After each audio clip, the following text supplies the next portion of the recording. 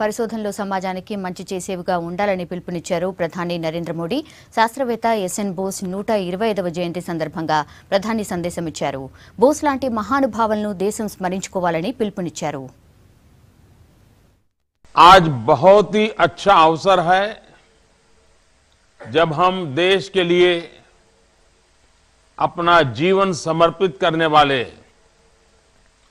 देश के महान सपूत को याद कर रहे हैं।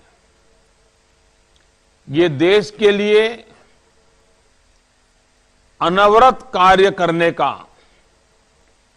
खुद को खपा देने का जज्बा है, जो हमें दिन, समय, पहर की चिंताओं से परे इस तरह साथ लाता है।